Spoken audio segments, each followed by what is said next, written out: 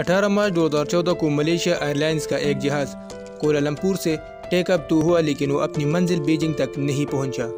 आज तक किसी को भी ये मालूम नहीं हुआ कि आखिर ये जहाज़ कहाँ गया। लेकिन अब पूरे आठ सालों के बाद एक उम्मीद मिली है कि ये जहाज़ इस वक्त कहाँ पर है। आज से आठ साल पहले मलेशियन एयरलाइंस से एक जहाज़ flight M H three seventy को कोलालमपुर से बीजिंग तक जाना था।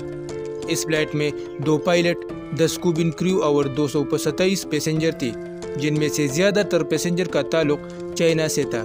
दोनों पायलट इंतहाई एक्सपीरियंस थे, जिनमें से कैप्टन ज़ाहिर अहमद शाह को तैंतीस साल का फ़्लाइट एक्सपीरियंस था और सत्ताईस साल के को पायलट फारूक अब्दुल हमीद एक जूनियर पायलट थे, जिनको सात साल का फ़्लाइट एक्सपीरियंस था। अगर इस प्लेन की बात की जाए तो 11 साल पुराना बोइंग ट्रिपल सेवन जहाज़ था, जिसमें न तो किसी किस्म की खराबी थी और न ही ये जहाज़ किसी हादसे का शिकार हुआ है। दरअसल ये मलेशिया और चाइना के दरमियान एक नॉर्मल फ़्लाइट थी, जो रोज़ाना पाँच घंटे और चौंतीस मिनटों का प्रवास करके मलेशिया से चाइना और चाइना से मलेशिया जाती थी। लेकिन आज का दिन इस फ़्लाइट के लिए किसी तौर पर नॉर्मल नहीं था। फ़्लाइट एम एच थ्री को पाँच घंटों और चौंतीस मिनटों के लिए प्रवास करनी थी, लेकिन टेक ऑफ़ से पहले इसमें ज़रूरत से ज़्यादा फ्यूल डाला गया। जिससे वो सात घंटे इकतालीस मिनट तक फ़्लाइट कर सकती थी। यानी अपने हद से दो घंटे पंद्रह मिनट ज़्यादा। ऐसा करना भी एयरलाइंस की रूटीन प्रैक्टिस होती है, ताकि अगर प्लेन को ख़राब मौसम या किसी इमरजेंसी में कहीं और भेजा जाए तो ऐसा मुमकिन हो। ये दिन था 8 मार्च 2014 का, और रात बारह बजकर बयालीस मिनटों पे फ़्लाइट एम एच ने रूटीन के मुताबिक कोलालमपुर से टेकअप किया।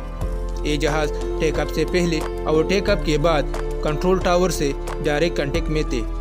टेकअप करते ही जहाज़ ने अपनी डायरेक्शन साउथ चाइना समंदर की तरफ़ कर दी। और ठीक 20 मिनट के बाद, यानी एक बजकर नौ मिनट पर, जहाज़ ने अपनी करंट जीपीएस लोकेशन कोलालमपुर में मौजूद कंट्रोल टावर्स को भेज दी।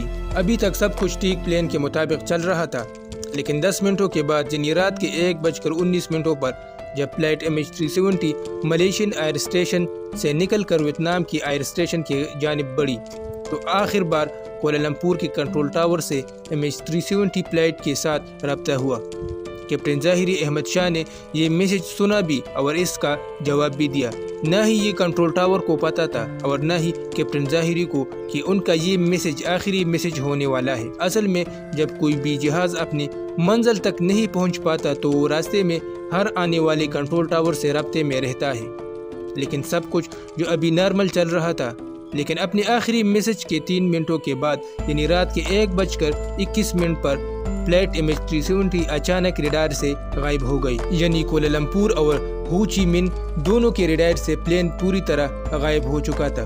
ये बात कोलमपुर टावर के लिए बिल्कुल नॉर्मल थी, क्योंकि वो ये समझा कि एम एच थ्री सेवेंटी अब वियतनामी एयर स्पेस में दाखिल हो गया है।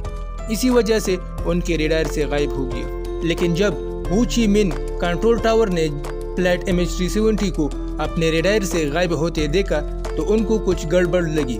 उन्होंने फ़ौरन प्लेन कैप्टन से खैरियत मालूम करने के लिए रबता किया, लेकिन वहाँ से किसी ने भी जवाब नहीं दिया। और तब ही वियतनाम टावर ने कोलालमपुर के कंट्रोल टावर से रबता किया और सारा वाक़ बयान किया। अब नॉर्मल तौर पर ऐसे हालात में एक घंटे के अंदर अंदर रेस्क्यू सेंटर को इन्फार्म किया जाता है, लेकिन कोलालमपुर टावर ने पूरे चार घंटों के बाद रेस्क्यू सेंटर को खबर दी और तब तक बहुत देर हो चुकी थी। सुबह के छः बजकर पंद्रह मिनट हो चुकी थी और ये वो टाइम था जो एम एच थ्री सेवेंटी जहाज़ बिल्जिंग में लैंड करना था। सबको एक उम्मीद थी कि शायद जहाज़ अपने वक्त पर लैंड कर जाए, लेकिन वहाँ से भी कुछ अच्छी खबर नहीं आई। सुबह के छः बजकर बत्तीस मिनटों पर ठीक उस जगह जहाँ से जहाज़ गायब हुआ था, वहाँ पर एक सर्च ऑपरेशन स्टार्ट किया गया। जिसमें सात मुल्कों के चार शिप्स और अट्ठाईस एयरक्राफ्ट ने plane M H three seventy को गल्फ ऑफ़ थाईलैंड और साउथ चाइना समंदर के बॉर्डर में तलाश शुरू किया। लेकिन किसी को भी वह जहाज़ का नामो निशान न मिला। इस वक्त पूरी दुनिया को इस हादसे का पता चल चुका था। इस दौरान कई मुल्कों की इन्वेस्टिगेशन टीम भी सर्च ऑपरेशन का हिस्सा बन गई। जहाज़ का अचानक तमाम रेडायर से गायब हो जाना किसी को भी ये बात समझ नहीं आ रही थी। अगर इस जगह पर समंदर में भी क्रैश भी होता तो इतना बड़ा जहाज़ है, कोई न कोई चीज़ तो ज़रूर पानी के ऊपर नज़र आना चाहिए था। अगले पूरे चार दिनों तक ये सर्च ऑपरेशन जारी रहा, लेकिन कहीं से भी कोई अच्छी खबर न मिली।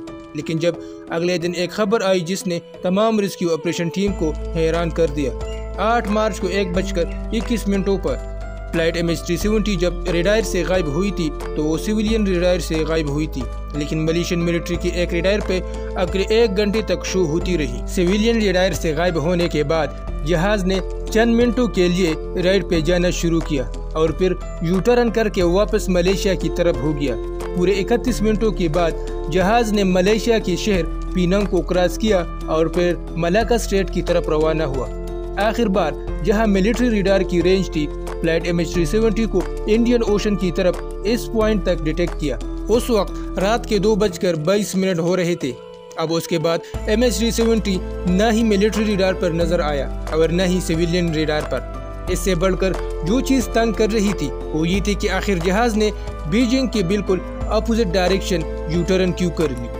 जो rescue team gulf of Thailand और साउथ चाइना समंदर में जहाज़ को तलाश कर रही थी वो अब इंडियन ओशन में ढूंढना शुरू हो गई, लेकिन हैरत अंगेज तौर पर यहाँ पर भी जहाज़ का कोई पता न मिला। अगले कुछ दिन बाद एक और खबर मिली और उसने एक बार फिर पूरी हालात को बदल दिया। मालूम हुआ कि जहाज़ मिलिट्री रिडायर से तो गायब हुआ, लेकिन एक सेटेलाइट ऐसी थी जिससे वो रबते में था। ये बोइंग जहाज़ों के लिए आम बात है कि जब इसका कंट्रोल टावर से रबता ख़त्म हो जाता है तो वो फिर ऐसी ही सेटेलाइट से रबता करने की कोशिश करता है। जहाज़ ने ऑटोमेटिकली हर एक घंटे बाद पैंतीस हज़ार किलोमीटर दूर इस इनमार सेट नाम सेटेलाइट से रब्ता करने की कोशिश की। इस सेटेलाइट पर सेफ़ डाटा की मदद से माहरीन ने एक कैलकुलेशन के हिसाब से जहाज़ का अगले डायरेक्शन का भी पता चल गया। पता ये चला कि मिलिट्री लीडर से भी गायब होने के बाद जहाज़ ने दोबारा एक टर्न लिया और अगले पाँच घंटों तक इसी डायरेक्शन में इंडियन ओशन के ऊपर उड़ता रहा। इस जहाज़ ने आखिर बार इस सेटेलाइट से रब्ता करने की कोशिश की और ये एम एच सेवेंटी जहाज़ मिलने वाला आखिरी सिग्नल था। इसके बाद जहाज़ ने न किसी सैटेलाइट से रब्ता किया और न ही वो किसी और रेडार पर नज़र आया। माहरीन का कहना है कि ऑस्ट्रेलिया से 2000 किलोमीटर ईस्ट में इंडियन ओशन की स्पॉट पर आकर जहाज़ का सेटेलाइट से रब्ता खत्म हो गया। यानी कोलालमपुर से टेकअप करने के बाद जहाज़ ने पूरी आठ घंटों का सफ़र किया और जहाज़ में टोटल फ्यूल भी सिर्फ़ इतना ही था।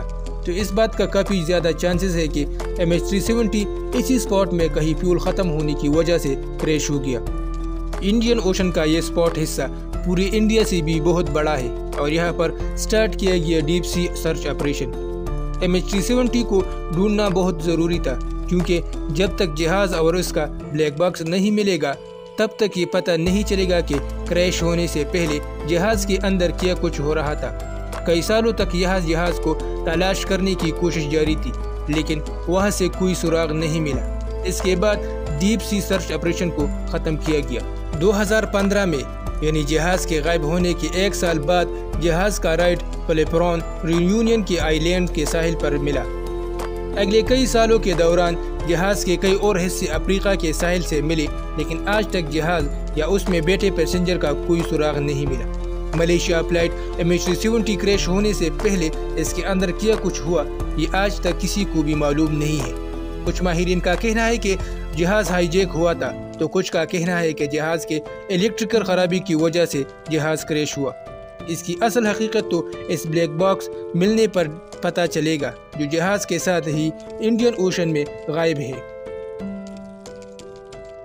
उम्मीद है दोस्तों, ये वीडियो भी आपको बहुत अच्छी लगी हो। वीडियो कैसी लगी, कमेंट सेक्शन में अपने राय का इजहार ज़रूर करें। और हमारे चैनल को सब्सक्राइब करना न भूलिएगा। शुक्रिया।